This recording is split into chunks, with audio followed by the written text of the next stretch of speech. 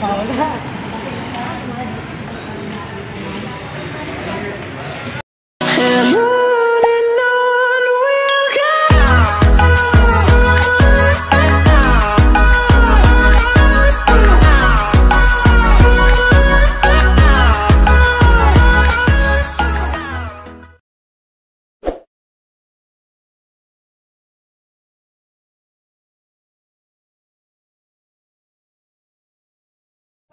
Ayan. So, it's our second dose for today. So, ayan.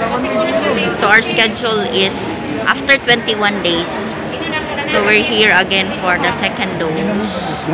So, ayan. And our schedule is 8 a.m. to 9 a.m. So, ayan.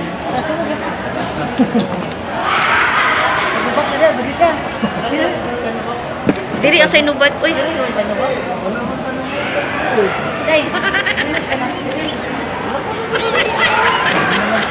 So, ayan. So, last, ayan, finally, second dose, no?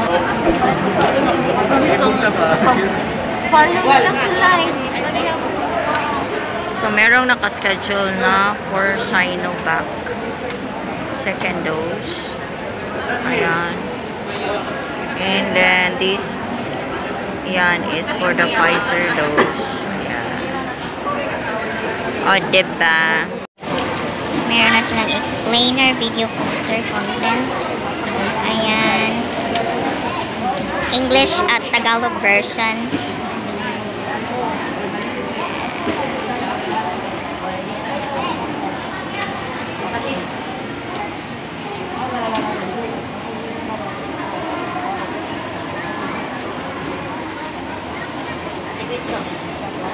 Antipisto.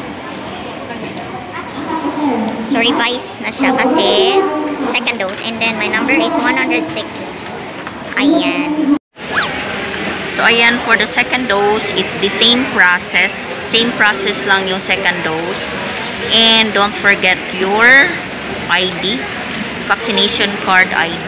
Ayan, yung vaccination card ID. And then, valid ID. And yung inyong ball pen.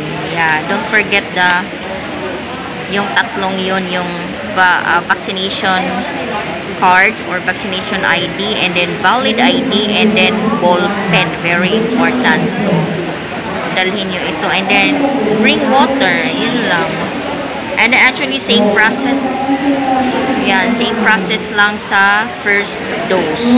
So, ayan. So, for today, ay Ah, yung first dose namin ay all in Pfizer kami. And then, itong second dose, meron merong nakapilang mga nag-second dose ng Sinovac.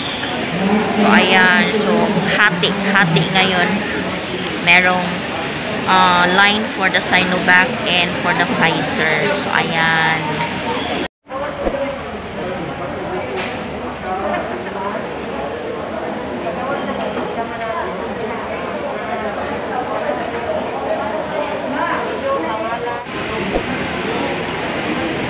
So, ayan.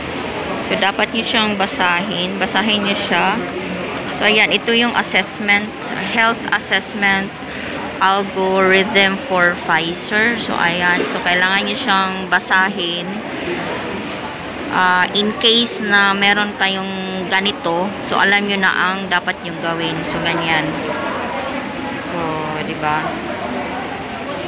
If you have allergy, so pwede kayong ma-vaccine ng Pfizer. But you have to observe for 30 minutes. So, ayan. So, ayan. Nandyan siya lahat.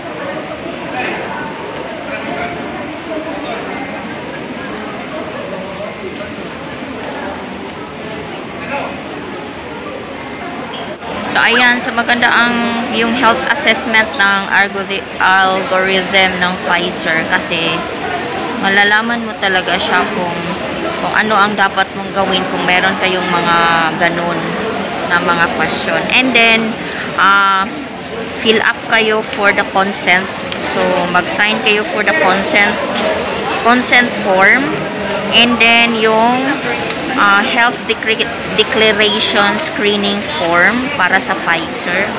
Ayan, meron siya. And then, yung health declaration screening form for Pfizer. So, ito yung mga tinatanong sa doktor. Yung ganito. Ayan.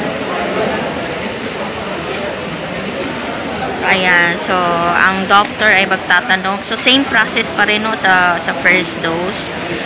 So, tinatanong lahat yan ng doctor before kayo tuturukan. So, ayan. And then, after the vaccination, of course, the post-vaccination monitoring sheets. So, ayan.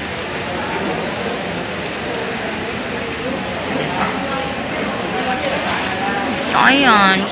ang buong. Kaya ating tandaan, ang pagbabakuna ay hindi lamang para sa iyo o sa iyong pamilya. Ito ay para din sa iyong barangay, lungsod at buong siya. Ang gagawin. Ang iyong kailangan gawin sa araw ng pagbabakuna. Pumunta kayo sa vaccination site kung saan ka nakalista. Huwag kalimutan magsuot ng face mask at face shield. Bago ka nakuha ng bakuna, kailangan mo pumirma ng isang informed consent. Sa pagpirma ng dokumentong ito, ay pinapatunayan mo na voluntaryo kang magpapabakuna at alam mo ang benepisyo at posibleng side effects nito. Huwag din kalimutan ang mga minimum public health standards habang nasa vaccination site. Katulad lamang ng pag-maintain ng isang metrong layo sa iba at pagsasanitize ng inyong kamay habang nagbibigtay. Pagkatapos mong mabakunahan, makatanggap ka ng isang vaccination card at nalilista dito kung kailan ka mabakunahan at kung kailan ang iyong susunod na appointment. Mananatili ka muna sa vaccination site ng isang oras upang obserbahan ka sa mga di pangkaraniwang na sintomas o adverse events. At dahil importante sa amin ang inyong kaligtasan, ay patuloy kang babantayan sa susunod na isang taon o 12 months. Ano ang dapat gawin pagkatapos magpabakuna? Maaari kang makaranas ng side effects tulad ng kasangkaso. Pero mawawala naman ito dapat pagkatapos ng ilang araw. Huwag mag-alala. Senyales mo na mamubuo ng proteksyon laban sa sakit ang katawan mo. Karamihan, naparanas ng lagnat o sakit at normal ito. Kontakin ang iyong healthcare provider kung ang pamumula o pagiging sensitibo ng lugar kung saan ka tinurukan ay lumala pagkatapos ng 24 na oras. Kung nag-aalala ka pa sa iyong mga sintomas ay hindi sila nawawala pagkatapos ng ilang araw. Importanteng may ulat mo ang mga ito sa health authorities para maaral ng mga eksperto kung konektado nga ba ang mga sintomas mo sa bakuna o hindi. Ayaw naming mag-alala ang publiko ng hindi kinakailangan. Sa mga bakuna na meron tayo ngayon, ay kinakailangan ang dalawang turok ng bakuna upang mabigyan ka ng inaasang proteksyon. Kailangan magpaturok ka pa rin ng pangalawang bakuna kahit nagkaroon ka ng side effects.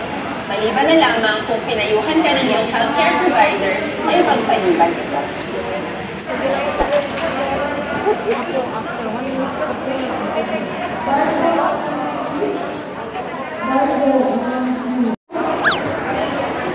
Ayan, vaccination area, step 5.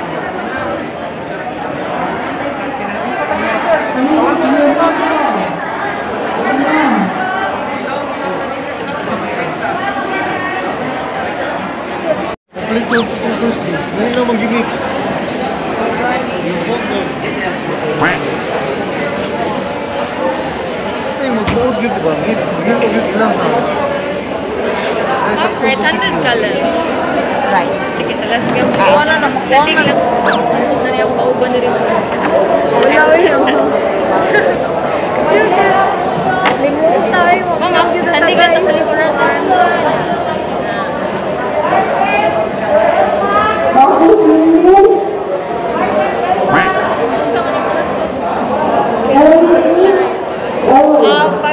the next day kay murag ilang tan mo.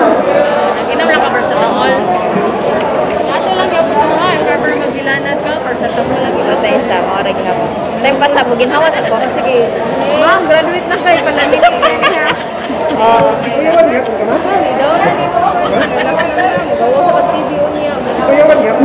ah, alit Jalit mo ta nag-video-video ko kay para man para mawala akong kulba ba. Di O, di ba? Thank pa sa... Say hi. Taga GMA. O, di ba? Wow, amazing. Thank you na, mana? Okay na ni. Thank you so much. Picture tayo. Ay, inig man ah. Ano pa man? Hindi ka mag-iat sa tiyan. Hindi ka naman susukip. Wala ka. Kung ako hindi ko guys, buhok naman dali.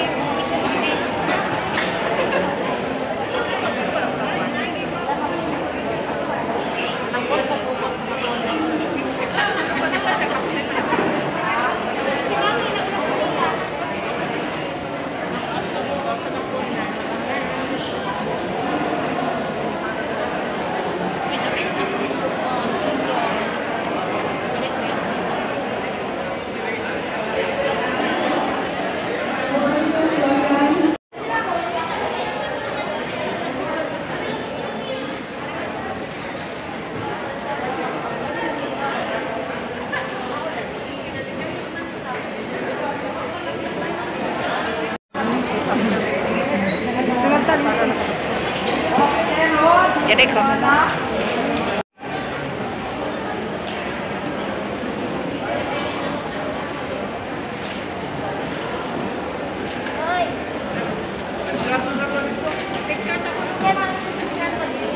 Ayan, so ang step 6 ay two process pa rin ang step 6. So ang first step, uh, first process ng step 6 ay ano, monitoring, 15 minutes pa rin. Ah, same same pa rin ang gagawin, ay monitor ng iyong BP and then ah yung sugar. And then after 15 minutes, another uh, monitoring. So, same pa rin, BP and then your sugar. And then lastly is the consult from the doctor. I mean, the signature from the doctor. Yan, here. Ayan, from the doctor. And then, picture area. And then, here, last is for the signature of your card. So, ayan. And that's all for today's vlog. And finally, I am fully uh, vaccinated. So, ayan, sa mga hindi pa nakapag-bakuna and then sa mga nakapag-bakuna na mag-second dose na po kayo. And wala naman tayong nararamdam, nararamdaman. So, same pa rin. So, usual lang after bakuna, medyo inaantok, masakit ng ulo, or mga medyo lagnat, yun lang. And thank you so much everyone sa pagsama sa akin. Don't forget to like, uh, comment, share, and subscribe to my channel. Bye! It's the motherfucking Eagle Double G. Snoop Dogg. You know I'm mobbing with the D.R.